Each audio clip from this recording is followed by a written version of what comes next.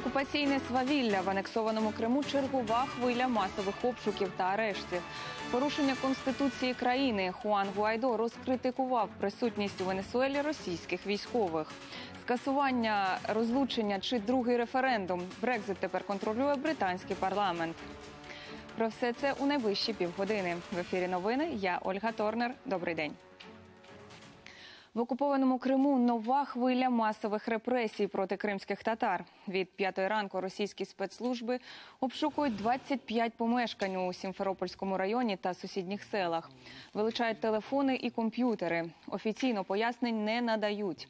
Але активісти пов'язують труси із так званою справою Хізбут Тахрір. Ця організація заборонена в РФ. В одному з будинків, начебто, знайшли літературу радикального спрямування. Господаря затримали. Його рідні переконані, книжки підкинули самі силовики. До помешкань, де проводять обшуки, нікого не пускають, і адвокатів теж. Багатьох чоловіків відвезли до управління ФСБ у Сімферополі. Забрали і тих, хто прийшов їх підтримати. Уважаемые граждане, я предлагаю вам разойтись.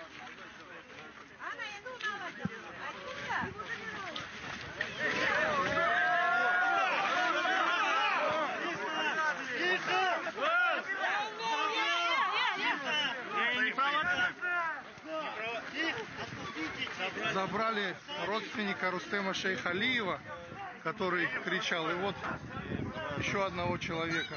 Есть информация, что не только по Симферопольскому району обыски проходят и э, в других районах и городах на данный момент. Э, очередная акция устрашения, э, очередная массовое э, продолжение массовых притеснений, репрессий крымских татар, мусульман в Крыму. Сразу целенаправленно зашли туда сотрудники и сразу там сразу указали на эти книги. Они были вот на самом виду и родственники уверены, что эти книги были подкинуты. В європейському парламенті відбулися дебати, присвячені російській окупації Криму. Е, Депутати обговорили, як Кремль порушує міжнародне право та безпеку на Азові. Більшість парламентарів укотре закликали Москву звільнити українських політв'язнів, засудили російську агресію, а також запевнили, що й надалі підтримуватимуть Київ у протистоянні з РФ.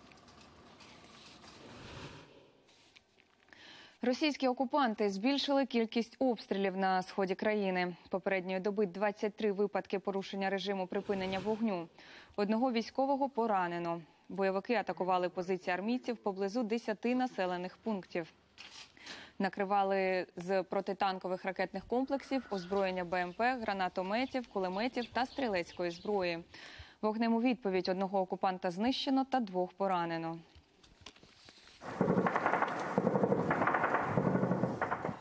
Околиці Авдіївки поблизу сумнозвісної промки. Така стрілянина тут уже буденність. Окупанти відкривають бентежний вогонь з піхотної зброї. Наші військові дають відсіч. Окопна війна, гранатомети, міни, великокаліберні рушниці. Цей арсенал бойовики застосовують майже цілодобово. Нерідко постріляти в українських солдатів виповзають снайпери.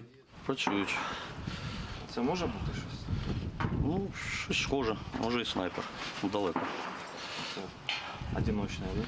Так, так. Утім, армійці застерігають, полювання на них справа кепська. Днями кількість ворожих стрільців наші солдати зменшили.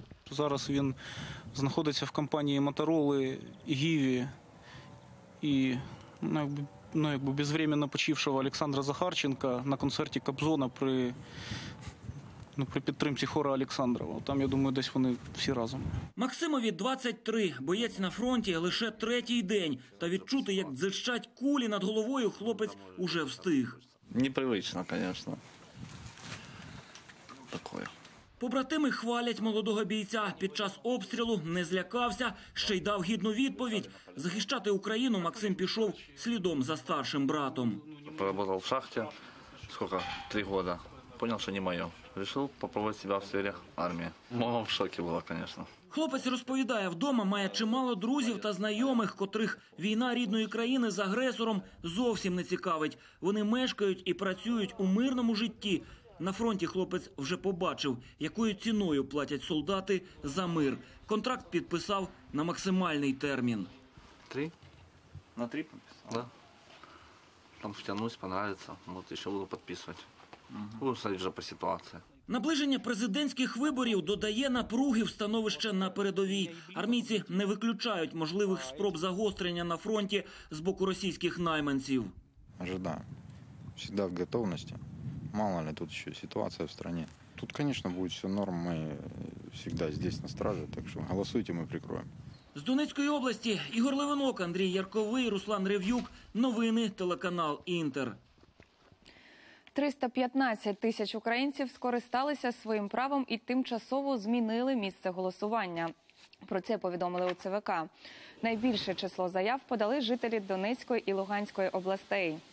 Друк уточнених списків громадян уже розпочали до 31 березня. Їх передадуть комісіям. Номер та адресу дільниці, до переліку якої внесуть виборця, вказано на сайті Держреєстру.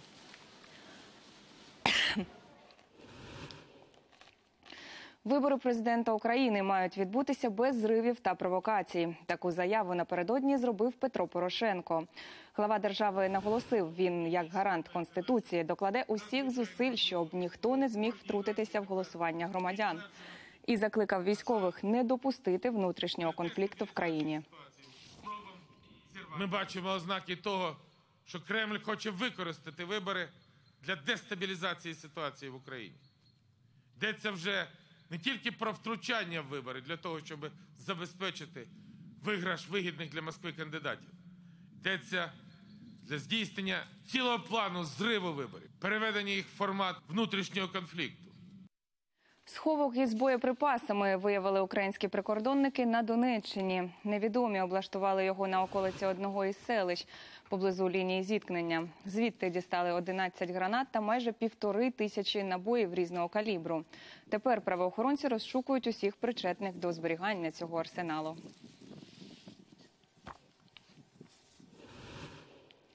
На Запоріжжі від вибуху гранати постраждали двоє поліцейських. Сталося це в місті Пологи. На номер 102 надійшов виклик, що райцентром вештається чоловік із боєприпасом у руках. Правоохоронці почали пошуки зловмисника. А коли знайшли, той ж бурнув у копів гранату. Та поліцейські, попри поранення, контузію і осколкові травми, порушника затримали.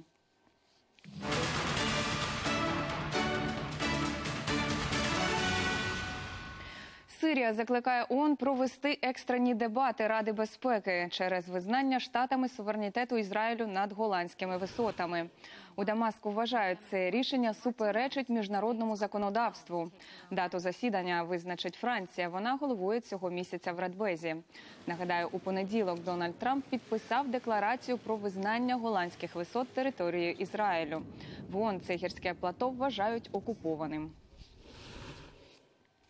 Присутність російських військових у Венесуелі порушує конституцію держави. Про це заявив опозиційний лідер Хуан Гуайдо.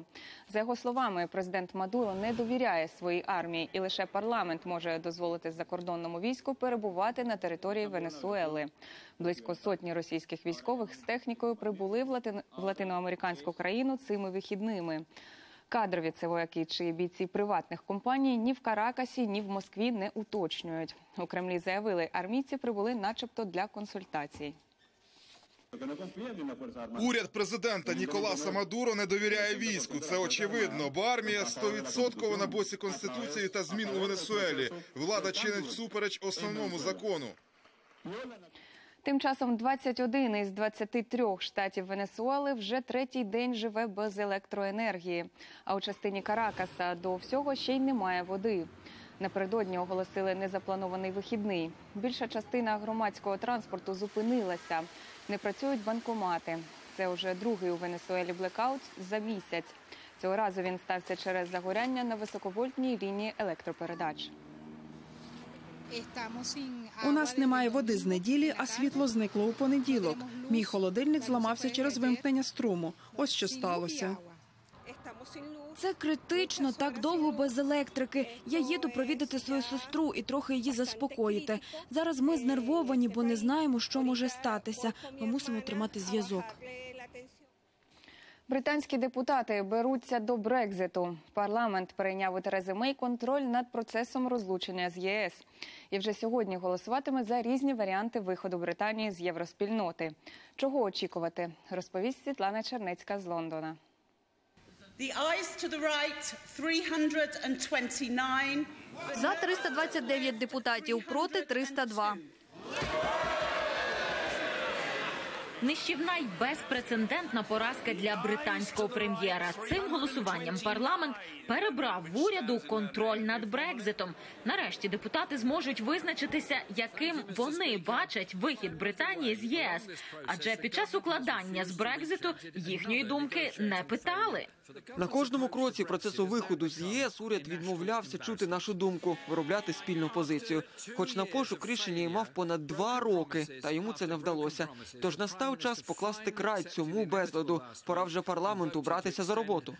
Поки парламент точно знає, чого не хоче угоди Терези Мей щодо умов розлучення, але немає поняття, що саме хоче. Тож вирішення шукатиме навпомацьки. Серед них буде опція другого референдуму, а ще скасування виходу з ЄС.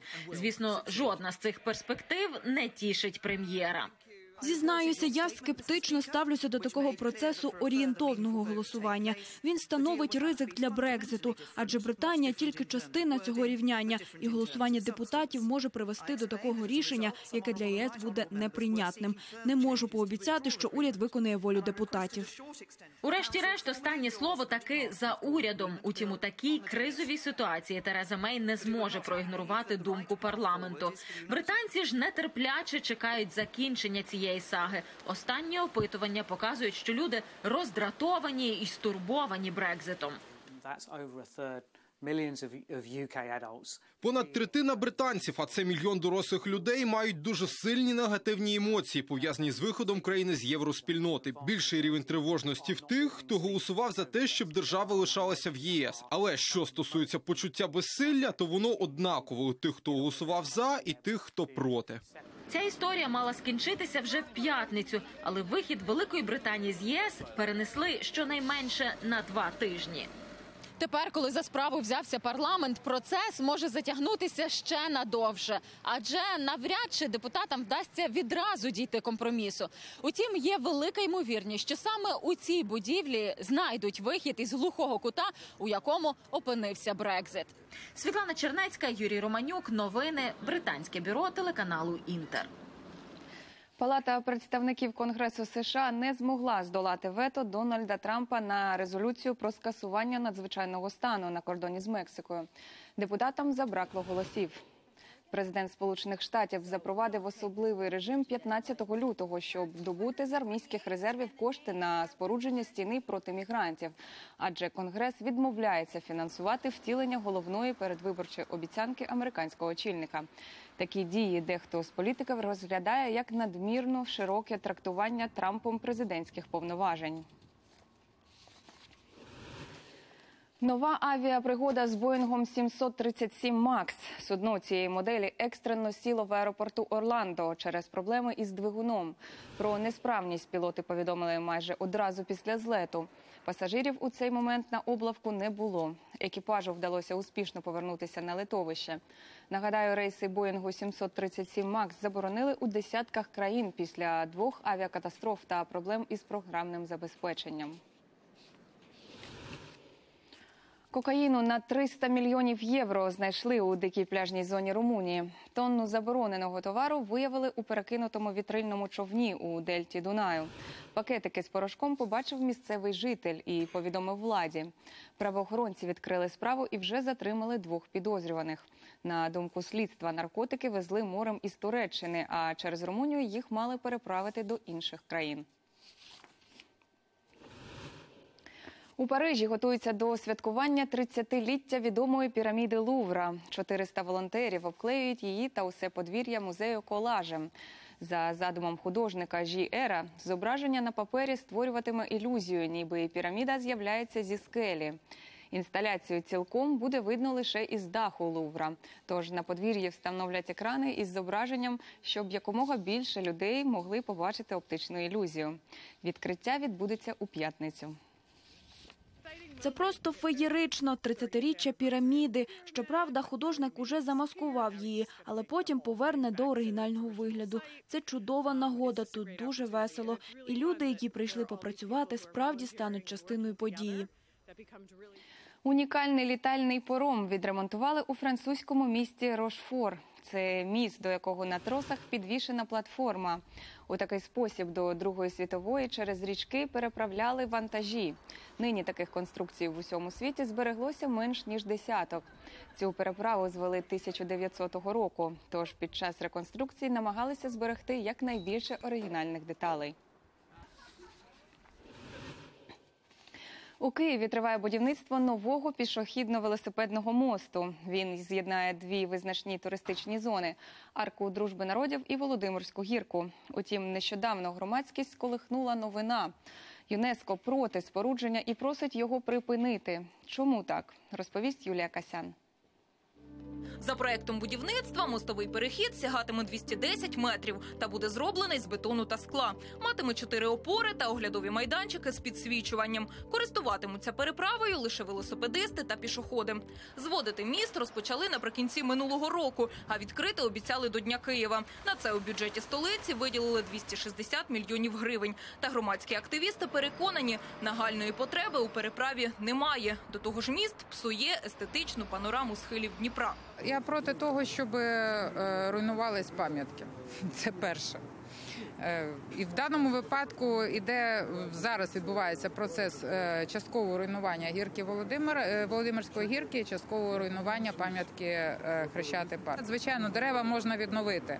А як можна відновити обличчя міста? Панорама буде втрачена. Оці панорами з лівого берега, все те, що ми бачимо, правий берег, вони будуть принципово змінюватися. Бентежить активістів і екологічний аспект будівництва. Тут суво небезпечна територія, тому що в нас ґрунти такі, що вони не тримають. Тут ціла система каскадів, тут геологічні цирки, тут ну не можна так. Наслідками будівництва занепокоєний ЮНЕСКО, повідомили у міністерстві культури. Мовляв, міст зовсім неподалік від об'єкту всесвітньої спадщини Софії Київської. Минулого тижня міністерство направило лист з рекомендацією припинити зводити переправу. Та в мерії переконують, роботи проходять поза межами буферної зони заповідника. Ми повністю е, згодні у нас на сьогоднішній момент. Повністю погоджені всі документи. Крім цього, ми зробили додатково ще е, замовили роботу оцінку впливу цього об'єкту на об'єкти всесвітньої спадщини. Ніякого впливу немає. Ми можемо надати висновки, які зробив ІКАМОС. Є оцінка впливу на об'єкт всесвітньої спадщини.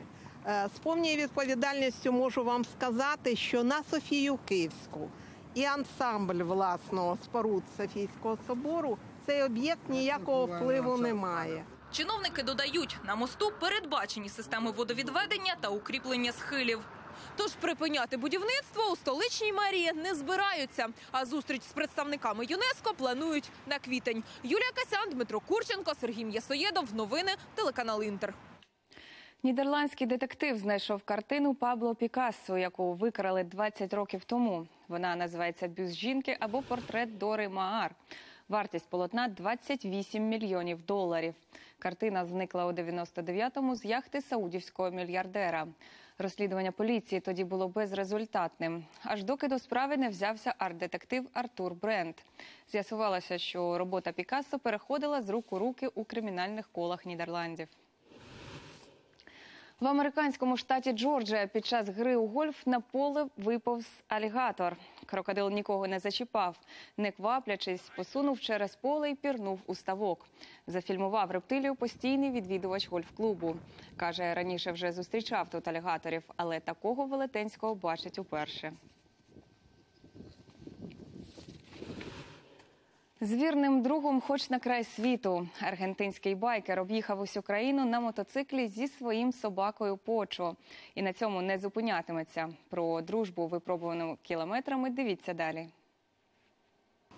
Дардо Кампостріні в минулому політик, а нині палкий шанувальник мотоциклів. Компаньйона для подорожей знайшов собі неочікувано. Ще цуценям пес перейшов до нього у спадок від матері і швидко освоївся на пасажирському сидінні мотоцикла. Я приладнав для Почо сидіння, щоб він міг дивитися на дорогу і капати ротом повітря, як він це любить. Окуляри для того, щоб захистити очі від вітру, бо якщо довго їхати, вітер може нашкодити зору.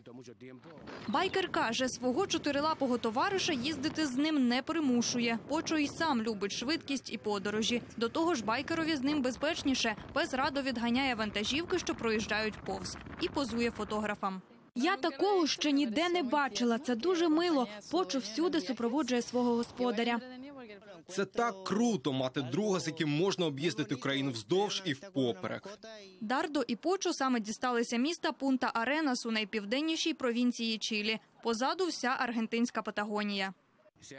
Наша подорож дещо затягнулася. Ми думали, що за півтора місяці повернемося додому, але минуло вже значно більше часу, а ми повертатися ще не хочемо. Далі збираються рушати на північ Чилі. Точного плану не складали, адже неважливо, скільки кілометрів попереду, якщо поруч справжній друг. Анна Філь, новини, телеканал Інтер. Відсутність професійної освіти і старе приміщення мистецтву не завада, вважають жителі села Циблі, що на Київщині. Тож взяли і створили свій театр, друкують афіші, створюють декорації та навіть гастролюють з виставами. До всесвітнього дня театру наш наступний сюжет. Купляю паклю і роблю сама парики. Ось тут беру свої колготки капронові, надіваю на трьохлітрову банку і шию парик. Наталя Мостова усе життя працює медсестрою. Та окрім роботи у шпиталі, жінка освоює інше амплуа. Уже четвертий рік керує театральною студією. Її створила разом з подругою, щоб привернути увагу громадськості до жахливого стану сільського клуба. Капало на сцену і сніг, і дощ, як ми е, були на репетиції, потрохи пол даже, бо не можна було й ходити. Вже багато зроблено з появою нашого театру, але і ще треба дуже багато коштів, десь мільйонів п'ять, щоб зробити тут кришу. Вони, хоч і називають себе аматорами, та запевняють, у Циблівському театрі все по-справжньому: кольорові афіші, професійний грим, яскраві декорації. З костюмами та реквізитом частенько допомагають односельці. І, хоч на виставах у залі яблуку ніде впасти, вхід для глядачів завжди вільний. Це все на ентузіазмі. Костюми перші шилися за свої кошти. Далі потім ми робимо благодійні вистави, як скриньку ставимо, хто що кинув, і тоді ми вже витрачаємо е, ці кошти на ті самі костюми для наступної вистави. Постійний склад театру 18 акторів, найменшому 9, найстаршому 75. Усе, що їх об'єднало разом, безмежна любов до театрального мистецтва. Наша сільська інтелігенція. Е, Є і вчителі, медсестри. В минулому головний зоотехнік нашого колгоспу, студенти. В масовці студенти. Директор будинку культури, наш звукорежисер. Я із семи років е, граю. Щоб бути актором, потрібно е, вивчити слова і гарно їх розказувати виразно. Поміж аматорів є у трупі і справжній актор. До війни на сході Микола Кривошея 34 роки грав у професійному театрі. каже, теперішніх колег по сцені оцінює дуже високо. Це, хоч і аматори, але вони прекрасні люди. Ірина Петрівна, Анна, мені дуже з- легко з нею. Боря це Михайло. Йому треба було в театральний інститут поступати. Він дуже талановитий хлопець.